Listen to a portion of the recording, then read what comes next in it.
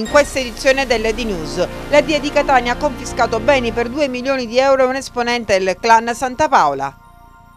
Crocetta sempre più fermo sulle sue posizioni, prima le riforme e poi possono sfiduciarmi, dice, ma io non mi dimetto, ma già si pensa al dopo Crocetta con l'ipotesi Farone tra le più papabili. La riforma delle province che non arriva e la difficoltà dei lavoratori degli enti provinciali, un'analisi condotta con i sindacalisti della città etnea. Viaggiare in Sicilia diventa sempre più difficoltoso, l'odissea del viaggio Palermo-Catania in treno raccontata da un viaggiatore.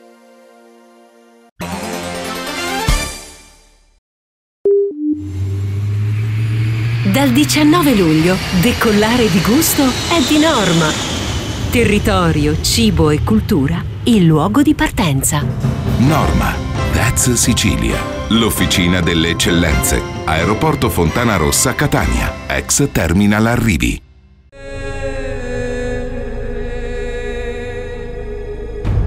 A Belpasso la tradizione si fa spettacolo.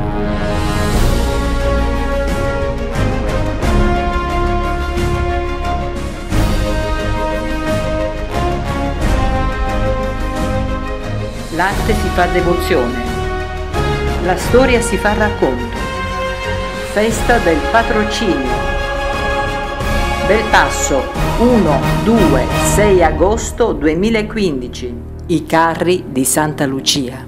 Job Creation, le migliori soluzioni per pianificare le vostre campagne pubblicitarie su impianti poster. Realizza la grafica e la stampa. La Job Creation dispone di impianti LED, il nuovo mezzo di comunicazione dinamico. Job Creation, lavoriamo per definire il vostro futuro. Entra da Mondo Ragazzi e troverai tante idee per rendere felice il tuo bambino. Mondo Ragazzi è il mondo dei piccoli, abbigliamento e calzature da 0 a 16 anni con i marchi più prestigiosi. Da Mondo Ragazzi corsi preparto gratuiti, parcheggio riservato, angolo fasciatoio e stanze dei giochi. Mondo Ragazzi, amici d'infanzia. A Catania in via Pola 19, ad Agrigento in via Tenea 22, a Sciacca in via Licata 95 e a Giarra in Corsa Italia 168. Beni per un valore complessivo di circa 2 milioni di euro sono stati confiscati nei confronti di Roberto Vacante, più volte condannato in via definitiva per il reato di associazione mafiosa perché ritenuto un elemento di spicco il clan Santa Paola, al quale è legato da vincoli di parentela. La confisca, eseguita dalla Direzione Investigativa Antimafia di Catania, nel capoluogo e in provincia, vede tre beni sottoposti a sequestro un'impresa di gestione di impianti sportivi, tra i quali diversi campi di calcio in pieno centro, due ville tra Catania e Tremestieri e Tenneo e conti correnti bancari. Viene colpito il patrimonio di un soggetto che ha militato e, e si ritiene è stato oh, veramente operativo nel, nella Cosca Santa Paola. Ma è importante per il valore dei beni confiscati perché conferma che lo Stato è presente, che se è pur vero purtroppo che la malavita si arricchisce dei traffici illeciti di ogni tipo e spesso questi malavitosi conducono anche una bella vita, però lo Stato è presente, questi beni che sono frutto di attività illecite vengono poi restituiti alla collettività con le misure di prevenzione. Vacante sposato con Irene Grazia Santa Paola, figlia di Salvatore Santa Paola, fratello di Benedetto Santa Paola, rappresentante provinciale dell'organizzazione Cosa Nostra. Vacante è stato sottoposto alla misura di prevenzione e alla sorveglianza speciale di Polizia di Stato per la durata di due anni e sei mesi, con l'obbligo di soggiorno nel comune di residenza. Le indagini di natura economico-finanziaria e patrimoniale delegate alla locale DDA ed espletate al centro operativo DIE di Catania, diretto al primo dirigente alla Polizia di Stato, il dottore Renato Pambino, hanno permesso di individuare una serie di beni che, benché formalmente documenti intestati ai suoi prossimi congiunti sono stati ritenuti effettivamente riconducibili alla titolarità del vacante attraverso l'intestazione degli stessi alla propria moglie Irene Santa Paola e al fratello Giancarlo Vacante. Indagini sicuramente non facili come ha sottolineato lo stesso Bambino. Queste indagini intanto iniziano eh, riguardando tutte le attività che sono state fatte nel momento in cui si portano in cella eh, numerosi affiliati di Cosa Nostra.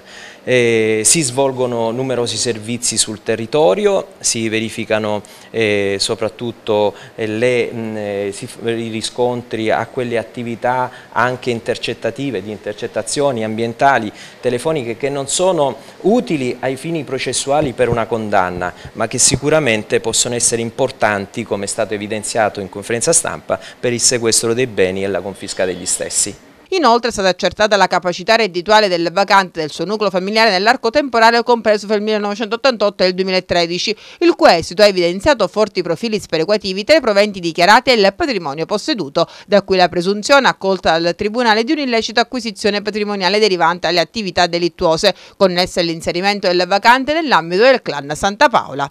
Roberto Vacante ha aderito al clan mafioso Santa Paola agli inizi degli anni 90, quando, nell'ambito dell'operazione di polizia denominata Vega, venne tratto in arresto unitamente ad altri 33 coindagati, tutti appartenenti al clan Santa Paola, in esecuzione di un'ordinanza di custodia cautelare messa al GIP del Tribunale di Catania, poiché ritenuto responsabile di associazione per delinquere di stampo mafioso finalizzata alla commissione di estorsioni, rapine, usure e omicidi. Lo stesso è stato nuovamente tratto in arresto il 7 dicembre del 2000 nell'ambito dell'operazione Zefiro unitamente ad altri otto soggetti, tutti ritenuti responsabili di associazione per delinquere di stampo mafioso finalizzata alla commissione di estorsioni al gioco d'azzardo. Roberto Vacante è stato inoltre tratto in arresto il 9 ottobre del 2007 nell'ambito dell'operazione Arcangelo, condotta al centro operativo dell'AD in esecuzione di un'ordinanza di custodia cautelare messa al GIP del Tribunale di Catania, in quanto responsabile di associazione per delinquere di stampo mafioso finalizzata alla commissione di traffico di stupefacenti ed estorsioni.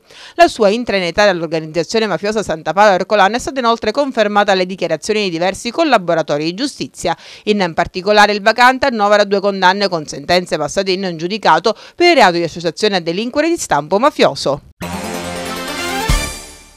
Grazie al forte senso civico di un cittadino, ieri gli agenti delle volanti della Polizia di Stato hanno tratto in arresto in flagranza di reato di rapina e sequestro di persona i pregiudicati Anthony Carmelo Spampinato, classe 1994, e Domenico Comis, classe 1995. Infatti proprio ieri mattina intorno alle 9 un anonimo cittadino ha segnalato al centro 13 che nei pressi alla rotatoria di Montepoi in direzione via Palermo un autotrasportatore era stato appena sequestrato a bordo del proprio furgone ad opera di quattro giovani che lo avevano affiancato affiancato a bordo di uno scooter. Due sono saliti sul mezzo e ne hanno assunto il controllo. Immediatamente la sala operativa ha fatto convergere sul posto diverse pattuglie che si sono poste alla ricerca del furgone rapinato. Una vera manovra a tenaglia, quella realizzata dai poliziotti, quali, imboccando la via Palermo dai due estremi del tratto che va da Piazza Marconi alla medesima rotatoria nei cui pressi è stato bloccato il furgone, hanno precluso ogni via di scampo ai malfattori e forse nemmeno gli agenti speravano in un esito così positivo. Grazie alla prontezza del dispositivo messo in atto alla sala operativa della questura che ha coordinato l'azione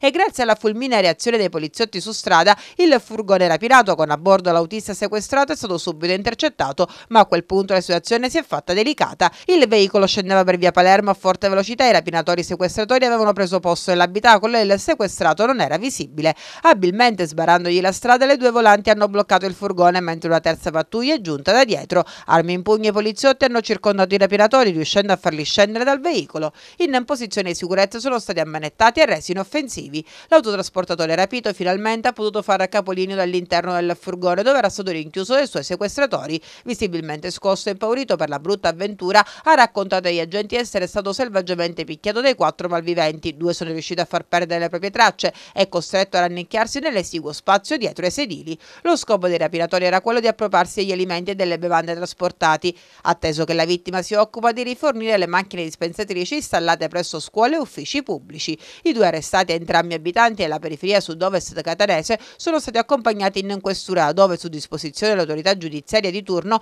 i due hanno preso la strada del carcere di Piazza Lanza dove si trovano rinchiusi. Ancora una volta una telefonata dato modo alla Polizia di Stato di salvare una persona dalle grinfie di chi non si è fatto scrupolo di mettere a repentaglio la vita di un uomo per un misero bottino. Non servirò mai la mia testa in un vassoio d'argento al Partito Democratico. Se me ne devo andare lo farò per motivi politici e non per le false intercettazioni. Ad affermarlo il governatore siciliano Rosario Crocetta che non vuole arretrare di un centimetro rispetto alla vicenda che lo vede coinvolto. La parola di missione infatti non sfiora minimamente i suoi pensieri nonostante il pressing che arriva in queste ultime ore dei vertici del suo partito, il PD, che da tempo lo vuole sfrattare da Palazzo Orleans, pur non essendo il governatore indagato, mentre si tiene tutti i sottosegretari sotto inchiesta. Prima faccio le riforme, ha detto Crocetta, poi do la mia disponibilità all'Assemblea siciliana per decidere se porre fine alla legislatura. Insomma, Crocetta ciò che chiede è di avere un paio di mesi per portare avanti le riforme più urgenti, innanzitutto quella sulla povertà, ma anche quella sull'acqua pubblica e sulle province, e poi solo dopo si potrà decidere del suo destino. Ma tutto il PD è ormai contro Crocetta, da Orfina alla Seracchiani, passando per Guerini. Assordante il silenzio invece da parte di Matteo Renzi, che tuttavia dovrebbe incontrare il segretario del PD siciliano Fausto Raciti per uscire dall'impasse e il PD già pensa a rimpiazzare lo stesso Crocetta in caso di elezioni anticipate. Il nome più gettonato è quello di Davide Faraone che in queste ultime 24 ore sembra scomparso dalla scena del crimine. L'operazione Faraone, dicono i bene informati, è già stata avviata da tempo con la stretta regia romana, una regia firma PD, UDC, Nuovo Centrodestra che in Sicilia potrebbe sparigliare le carte sia al centrodestra sia ai grillini. A capo dell'operazione ci sarebbero il silente Renzi, l'oramai compagno di governo Angelino Alfano e Giampiero D'Alia. Dall'altro lato c'è un potenziale candidato per il centrodestra che è Nello Musumeci e che stando a quanto detto non dovrebbe avere il sostegno appunto del nuovo centrodestra. L'altro schieramento, il centrosinistra, è già al lavoro, a parte i grillini pronti a prendersi la scena. Cosa ne sarà delle province siciliane e dei dipendenti che in esse vi operano costretti a vivere nell'incertezza? Lo abbiamo chiesto a CGL, Cisle e Will in una serie di interviste che vi proponiamo da oggi a venerdì per ascoltare le diverse opinioni. Cominciamo oggi con Alfio Mannino, segretario confederale della CGL. È sempre più in bilico il futuro dei lavoratori delle province a causa di una politica lenta che non fa le riforme che annuncia e che proprio oggi, quando si parla di dimissioni del Presidente Crocetto di una sfiducia nei suoi confronti, serve ancora di più questa riforma? Ma assolutamente sì, anche perché noi abbiamo intanto azzerato le cariche, le cariche elettive della provincia, si era pensato di costruire una, una riforma eh, in cui dovevano essere chiuse le province per cercare di spostare eh, le competenze quindi anche le risorse umane verso altri enti, penso ai comuni o verso la regione e tuttavia queste riforme non sono state fatte, tra l'altro non si capisce neanche che modello noi vogliamo avere, noi per esempio abbiamo sempre detto che bisognava ricalcare il modello del RI e quindi andare verso, sempre di più verso l'istituzione intanto delle aree metropolitane e tutte quelle eh, realtà dove non insistono aree metropolitane cercare di fare dei consorsi che quantomeno potessero coincidere con eh, le realtà provinciali. A Catania noi pensiamo che vada costruita la città metropolitana che eh, in qualche modo ricomprenda il perimetro della provincia catanese e eh, cercare di mettere in relazione le competenze che oggi hanno gli enti locali con quelli della provincia, spostando le risorse umane, spostando le competenze, perché la cosa grave è che qui non soltanto siamo di fronte a un'incertezza assoluta da parte dei lavoratori, ma la cosa grave è che ci sono alcune competenze che non si sa più chi li deve svolgere, penso per, per esempio eh, a chi deve eh, gestire le strade provinciali, le strade di, di penetrazione agricola, eh, pensiamo all'edilizia scolastica di competenza provinciale, cioè qui non c'è un problema solo di danni ai lavoratori che vivono una condizione di incertezza, ma a servizi basici a partire appunto dalla gestione delle scuole che oggi eh, sono rimasti completamente in aria sempre più critica la situazione all'ASP perché manca un direttore e quindi difficoltà ci sono per i pazienti, quasi un milione di pazienti che utilizza i servizi erogati all'azienda sanitaria provinciale ma anche per i lavoratori, soprattutto i lavoratori precari che non avendo un punto di riferimento non sanno con chi relazionarsi e non sanno quello che è il loro futuro. Da qui anche un incontro che avete avuto voi ieri a Palermo proprio per parlare di questa vicenda delicata, il sindacato a fianco dei lavoratori ma vuole risposta anche dalla regione. Noi lo diciamo da molto tempo che ci vuole un direttore generale responsabile, non si ragiona, non vi è una sanità veramente limpida per come dovrebbe dare all'utenza un servizio saggio e sano.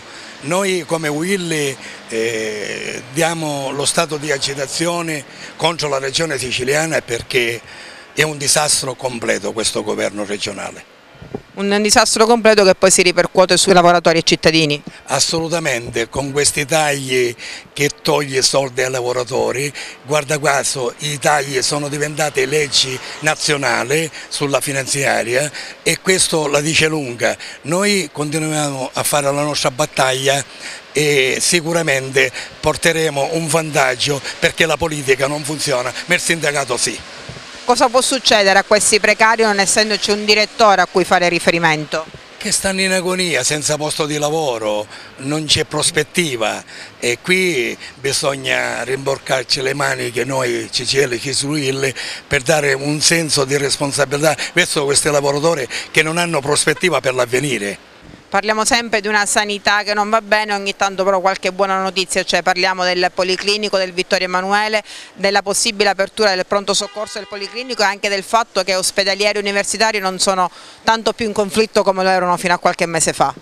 Sicuramente con questa terna governata da Paolo Cantaro le cose stanno andando meglio, anche se la sanità ha bisogno veramente quella forza necessaria per portare avanti tutti i progetti. Noi guardiamo che l'equilibrio fra Vittorio Emanuele e Policlinico vi è in questo momento una saggezza in cui noi siamo fieri di questa amministrazione, sicuramente sappiamo che a dicembre aprirà il pronto soccorso del Policlinico che così completa l'opera sul Policlinico. Per Vittorio Emanuele vogliamo, fin quando rimane aperto quello che è rimasto, che funziona sicuramente, continua a funzionare il pronto soccorso e tutte le aree poloambulatori per dare un servizio sicuramente in una città che soffre e una città che ha bisogno quell'area dell'ospedale Vittorio che abbraccia tutta, tutta la parte sud di Catania.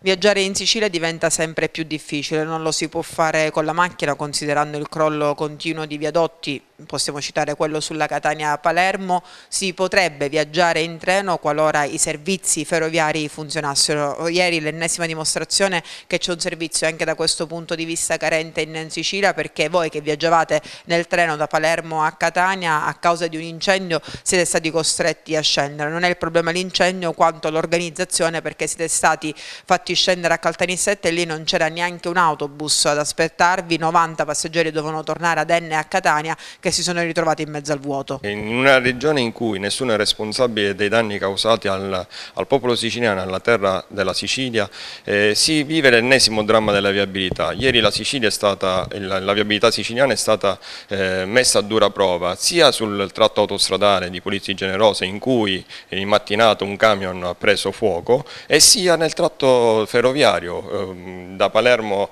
a Catania, ieri il treno delle 7.36, delle 19.36 ha avuto forti ritardi ed è stato costretto a una sospensione di corsa dopo 15 minuti dalla sua partenza per una verifica da parte del macchinista del, dell'ultimo vagone in cui ero, in cui ero ospite e si sentiva un forte, forte odore di, di, freni, lo stesso odore del surriscaldamento dei freni della macchina. E comunque dopo la ripartenza il, il capotreno ci ha avvisati che il, il treno avrebbe subito dapprima una sosta ad Enna e dopo circa 20 minuti disse eh, che lo stesso treno avrebbe terminato la corsa a Caltanissetta Zirbi. Ora Caltanissetta Zirbi è una stazione che è famosissima per, famo per il comfort ossia nessuno, ma l'unica cosa che ha accolto i passeggeri era un forte odore di escrementi di animali e là il pensiero positivo di un'efficace organizzazione della macchina delle ferrovie dello Stato si è messa sicuramente a dura prova.